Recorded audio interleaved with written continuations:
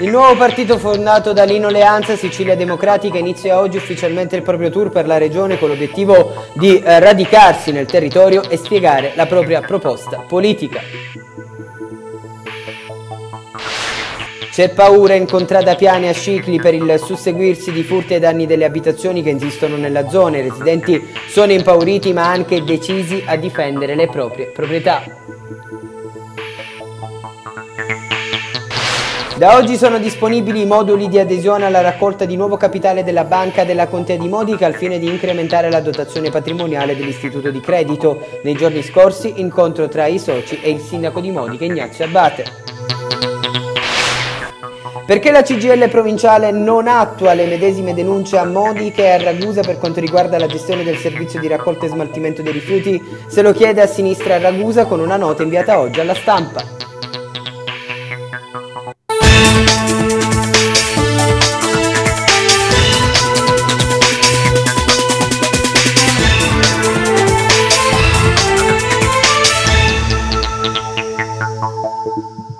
Buon pomeriggio e benvenuti alla prima edizione del nostro telegiornale. Sicilia eh, Democratica, il nuovo partito fondato da Lino Leanza, comincia oggi il suo tour per tutta la regione siciliana con l'obiettivo di eh, radicarsi nel territorio e spiegare la proposta eh, politica. Prima tappa in provincia di Ragusa, alla presenza di Iano Gurrieri, recentemente nominato coordinatore provinciale per Sicilia Democratica, sarà il rilancio dell'agricoltura tanto a livello livello regionale quanto nell'area Iblea il punto nodale per uscire quest'anno dalla crisi economica. Vediamo il servizio. Nata dopo la spaccatura di articolo 4, Sicilia Democratica segue il percorso politico di Lino Leanza. Esprime oggi sei deputati all'ARS e l'assessore regionale all'agricoltura Nino Caleca. Ora si vuole radicare nel territorio. Si parte dalla provincia di Ragusa. Sebastiano Gurrieri è il coordinatore Ibleo. Leanza spiega così il ruolo del suo partito in questo 2015 che sarà fondamentale per riformare la Sicilia. I soldi non sono nel bilancio della regione, i soldi per lo sviluppo sono eh, nei fondi comunitari. Se saremo bravi a spendere, a spendere bene, io sono convinto che forse eh, potremo uscire piano piano dal tunnel. Particolare attenzione politica nei prossimi mesi nella nostra provincia, Sicilia Democratica la riserverà ad Ispica e Scicli dove si andrà a votare. Nel complesso per l'area Blea si punta sull'agricoltura, tanto perché si può contare sull'assessore Caleca, quanto perché tra fondi europei ed Expo 2015 questa è la sfida decisiva. Abbiamo un assessore di grande spessore, c'è una voglia matta di fare, Sicilia Democratica eh, su questo si gioca tutto, si gioca la credibilità, si gioca il suo futuro, si gioca tutto. Perché la provincia di Ragusa sta vivendo un momento magico, ma non c'è la consapevolezza dell'opportunità che può sfruttare questa provincia con l'Expo 2015. La dieta mediterranea è stata riconosciuta come bene immateriale dell'umanità. Il cibo è cultura, il cibo è identità del territorio, il cibo è memoria di un popolo e all'Expo 2015 si parlerà di cibo. È stato convocato per ieri sera il direttivo del PD di Ispica per fare chiarezza una volta per tutte sui risultati delle primarie. Vediamo com'è andata. Il Partito Democratico ha voluto mettere ieri sera un punto esclamativo sulla querel primaria di Ispica. Il segretario regionale dei Democratici, Fausto Raciti, ha delegato il responsabile dell'amministrazione del PD regionale, Antonio Rubino, a rappresentare la volontà del partito in merito al nome del candidato sindaco del centro-sinistra. Le primarie sono una sfida. ci si misura, ci si compete, poi si va avanti tutti assieme per vincere la partita ed è troppo comodo quando si perde prendersi il pallone e andarsene. Questa non è la scelta che eh, fa, che ha fatto e sta facendo il Partito Democratico in giro per l'Italia, le primarie sono nel nostro DNA, qua a Ispica c'è stata una straordinaria partecipazione, eh, non tutti erano d'accordo sulle primarie, nel fare le primarie, così come mi rappresentava il segretario provinciale, si è scelto e tutti hanno scelto di fare le primarie attraverso regole condivise, regole scritte da tutti, queste primarie hanno dato un esito e leggendo il verbale di proclamazione del del vincitore ho letto che insomma, anche la forza numerica era una forza proprio non, eh, non di poco, la, la, differenza era non di poco, per cui da parte mia, da parte del partito regionale, da parte del, della segreteria provinciale di Ragusa, siamo qua per eh, eh, mettere fine alle polemiche, per eh, fare sentire a Pierenzo la, la, vicinanza del partito regionale per iniziare a dare una mano al partito di Ispica per iniziare immediatamente la campagna elettorale.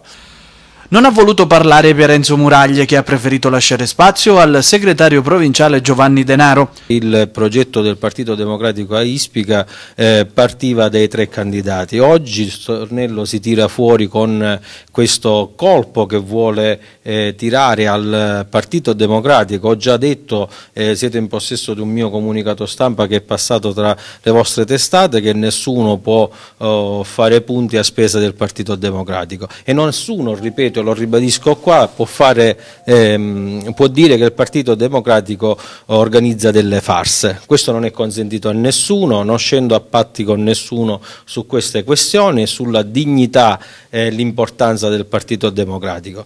Noi eh, riteniamo tutti insieme, e lo avete eh, scelto voi spicesi, che il candidato del centro-sinistra e del PD eh, a Ispica è Perenzo Muraglia.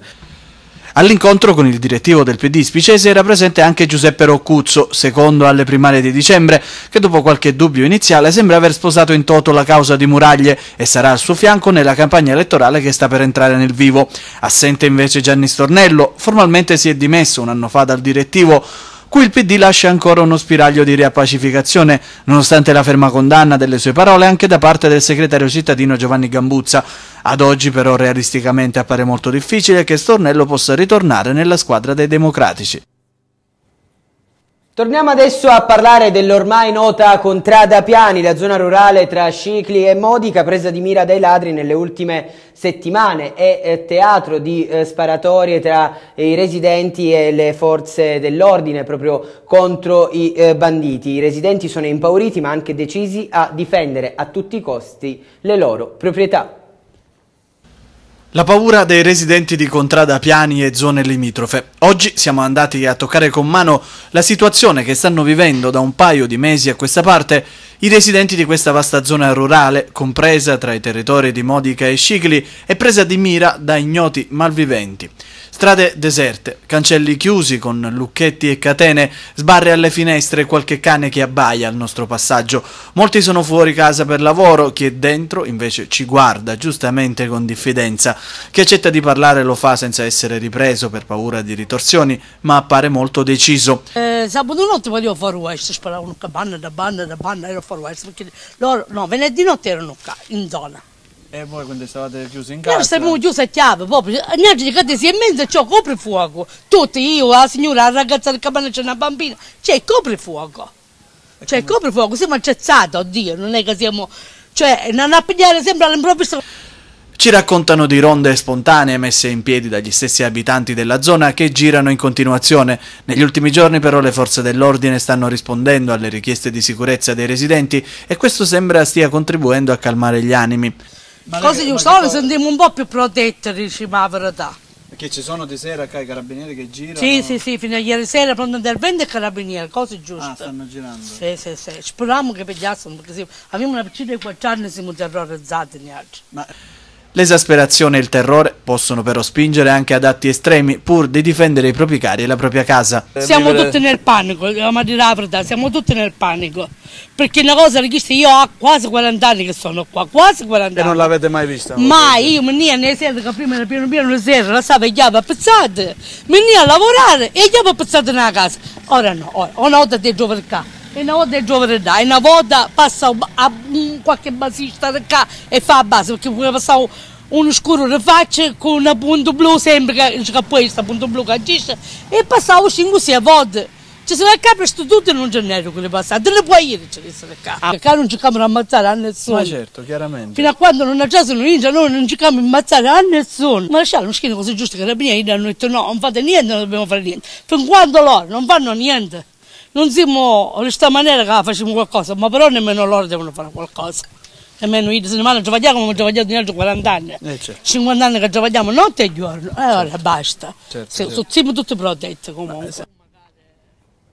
Convalidato l'arresto del pregiudicato ciclitano sorpreso dai carabinieri mentre tentava di rubare in un'abitazione di eh, Marina di Marza a Ispica. Stefano Arrabito, 52 anni, è comparso davanti al giudice unico del Tribunale di Ragusa, Ivano Infarinato. Dopo la convalida il magistrato ha concesso all'uomo gli arresti domiciliari in attesa del processo per direttissima fissato al prossimo 5 febbraio.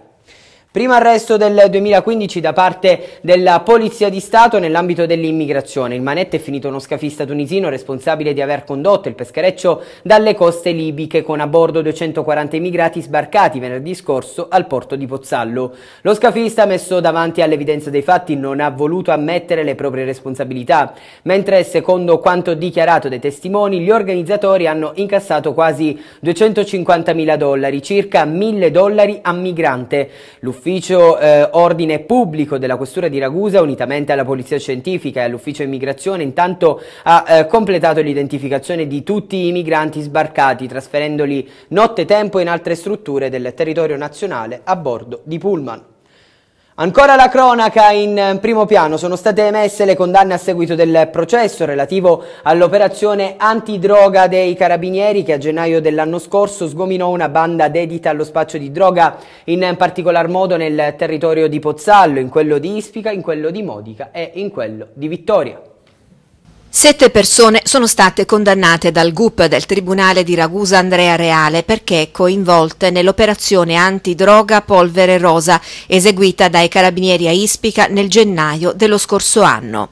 Tutti hanno praticato il giudizio abbreviato, 4 anni, 8 mesi, 30.000 euro di multa inflitti a Sebastiano Morana, 2 anni, 8 mesi, 6.000 euro a Rosi Geri, un anno e quattro mesi oltre a 2.400 euro di multa per Silvia Deliberto, concessa la sospensione. Francesco Agosta è stato condannato invece a tre anni, quattro mesi, 20.000 euro di multa. Sette anni di reclusione sono stati inflitti al tunisino Mosen Sof, tunisino di 34 anni, Miluda Limi, 38 anni, è stato condannato a due anni e quattro mesi. Tutti gli altri sono stati rinviati a giudizio. Si tratta di Mary Salonia, 24 anni, Daniela Biazzo, 28 anni, Adem Ben Slama, tunisino di 31 anni, Antonino Campo, 34 anni, Francesco Runza, 27, Daniele e Rosario Scolaro, rispettivamente di 25 e 29 anni, Alessia Spadola, 24 anni. Le attività di indagini condotte dai carabinieri avevano permesso di accertare le responsabilità dei 12 soggetti nello spaccio di sostanze stupefacenti in provincia di Ragusa, in particolare a Pozzallo. Nel corso delle indagini emerse un'intensa partecipazione partecipazione femminile nella gestione degli affari della droga. Infatti le quattro giovani donne arrestate si occupavano attivamente personalmente per l'organizzazione dell'acquisto, il trasporto e la detenzione ai fini di spaccio dei quantitativi di sostanza stupefacente. L'attività investigativa svolta dai carabinieri ha permesso di ricostruire questa rete di spacciatori operanti in provincia, in particolare a Pozzallo, Ispica, Modica e Vittoria. E la Polizia di Stato ha arrestato in flagranza di reato due vittoriesi intenti ad armeggiare con attrezzi il bancomat dell'ospedale Maria Paternò Arezzo di Ragusa Ibla. Alla vista della polizia i due sono scappati in due direzioni diverse ma la polizia li ha bloccati. Si tratta di Giovanni Guercio, 28enne, che si trova rinchiuso nel carcere di eh, Ragusa, mentre Lorenzo Gulino, 33enne, è scappato, è caduto ed ha riportato gravi lesioni agli arti inferiori per cui è stato ricoverato in ospedale. Adesso si trova eh, piantonato eh, dalla polizia in attesa dell'intervento chirurgico. I due devono rispondere di furto aggravato in concorso. E continueremo a parlare di cronaca nella seconda parte del nostro telegiornale. Adesso ci fermiamo, c'è la pubblicità, tra poco. Ben ritrovati alla seconda parte del nostro telegiornale. Ci sarebbe anche un pozzallese tra l'equipaggio dei due pescherecci italiani, il Jonathan di Siracusa e eh, l'Alba Chiara eh, di Riposto, fermati in Egitto. Le autorità egiziane starebbero valutando la posizione dei componenti di equipaggio. La notizia è stata eh, diffusa dai componenti di alcuni motopesca presenti nello stesso tratto di mare e dai familiari dei membri degli equipaggi. È stata confermata inoltre dalla Farnesina che sottolinea che l'ambasciata italiana al Cairo segue la vicenda con la massima attenzione. Il sequestro delle due imbarcazioni sarebbe avvenuto intorno alle 15 mentre stavano effettuando una battuta di pesca al pesce spada a circa 40 miglia dalla costa. Da eh, frammentare notizie non confermate ufficialmente dalle autorità italiane, il peschereccio appartenente alla eh, marineria siracusana avrebbe subito dei danni, forse causati da uno speronamento da parte del mezzo navale della Guardia Costiera egiziana in acque internazionali e torneremo ad aggiornarvi nelle prossime edizioni del nostro telegiornale. Un arresto, 8 denunce, 14 perquisizioni effettuate, 2 le patenti eh, ritirate, 15 contravvenzioni al codice della strada, combinate per un totale di 15 punti decurtati dalle patenti di guida, 56 veicoli controllati e 122 le persone identificate, 3 mezzi recuperati, eh, risultati eh, rubati e restituiti ai legittimi proprietari. E questo il bilancio dei controlli del weekend dei carabinieri della compagnia di Vittoria storia, vediamo. Era entrato nell'istituto comprensivo Plesso Campo Sportivo di Comiso per rubare, ma è stato colto in flagranza di reato ed è stato arrestato. Si tratta di un diciottenne incensurato che si era introdotto all'interno della scuola per trafugare le merendine del distributore automatico e chissà, magari se non fosse stato bloccato dai carabinieri, avrebbe portato via anche le apparecchiature. Alla vista dei militari aveva tentato la fuga dalla struttura scolastica, ma con scarso successo. Al termine delle formalità di rito è stato arrestato e posto ai domiciliari presso la propria abitazione. Durante i controlli del territorio, oltre all'arresto del giovane, i militari dell'Arma sono stati impegnati anche nell'attività di controllo delle principali arterie stradali, dove sono stati rilevati diversi illeciti, che hanno fatto scattare il ritiro di due patenti, 15 contravvenzioni, la decurtazione di 15 punti. I carabinieri del della compagnia di Vittoria hanno poi denunciato otto persone. A questi ultimi sono stati contestati reati in materia di ricettazione, evasione dagli arresti domiciliari, omissione di soccorso. I controlli, portati avanti dalla compagnia di Vittoria, sono stati svolti in tutto il territorio sotto la propria giurisdizione. E controlli del fine settimana da parte anche della Polstrada di Ragusa per prevenire le stragi del sabato nel territorio provinciale. Il bilancio dei controlli è di due positivi all'alcol test, cinque infrazioni per mancata copertura assicurativa, un tagliando assicurativo falso e otto infrazioni per eccesso di velocità sulla Ragusa Catania e da oggi sono disponibili i moduli di adesione alla raccolta di nuovo capitale per la Banca della Contea di Modica al fine di incrementare la dotazione patrimoniale dell'istituto di credito. La data di oggi era stata anticipata dal Comitato dei Soci durante un incontro svolto a Palazzo San Domenico con il sindaco di Modica, Ignazio Abate, alla presenza dei rappresentanti delle categorie produttive e dei consorsi fidi. Le somme raccolte, si precisa in un comunicato stampa dei soci, sono vincolate vincolate al progetto di risanamento e rilancio della banca in virtù dei precedenti rilievi di Banca Italia. I rappresentanti del mondo produttivo e dei consorsi fidi, si legge ancora, hanno ribadito il loro sostegno al comitato dei soci e si sono impegnati a promuovere il progetto tra gli associati. Il sindaco dal canto suo, conclude la nota, ha confermato impegno e appoggio a nome dell'intera amministrazione comunale. Cambiamo argomento, perché la CGL provinciale non attua le medesime denunce a Modica e a Ragusa per quanto riguarda la gestione del servizio di raccolta e smaltimento dei rifiuti? Se lo chiede a sinistra Ragusa con una nota inviata oggi alla stampa. Sentiamo. Nei giorni scorsi la CGL provinciale aveva inoltrato una lettera al Governo nazionale, alla Commissione antimafia e all'Autorità anticorruzione, denunciando come Modica fosse l'unico comune d'Italia nel quale, da quasi sei anni, il servizio di raccolta e smaltimento dei rifiuti solidi urbani viene effettuato con una ordinanza contingibile ed urgente, senza che le amministrazioni abbiano per l'affidamento del relativo appalto indetto un bando di gara una serie di osservazioni fatte dal sindacato, tra cui i costi del servizio, che in questi anni nella città della Contea sono lievitati di milione in milione.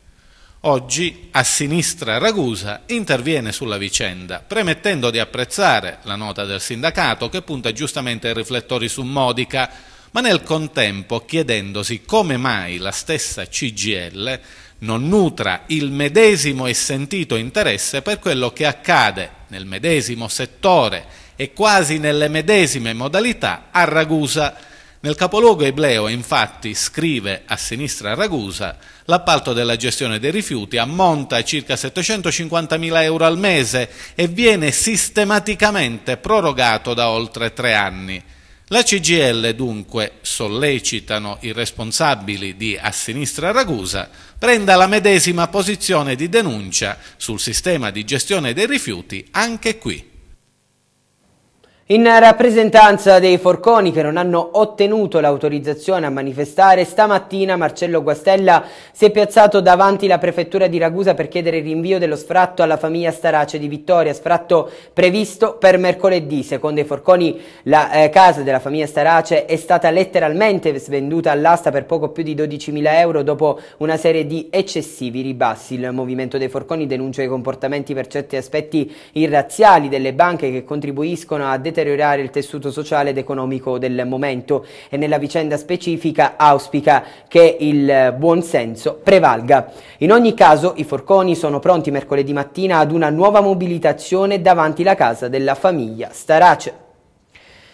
L'iniziativa del sindaco Abate sul pagamento IMU per i terreni agricoli è tardiva e demagogica. A pensarla così è il PD di Modica che evidenzia come l'iniziativa di Abate non fa altro che accordarsi con l'attività giudiziaria intrapresa da altri al solo fine di potersi attribuire i meriti di un'eventuale vittoria che in ogni caso avrebbe effetto sul piano nazionale. Qualora il ricorso non abbia esito favorevole, il PD invita il sindaco a procedere alla eh, revisione e al ribasso dell'aliquota IMU per tutti eh, gli immobili dato il maggiore introito derivante da quella sui terreni agricoli.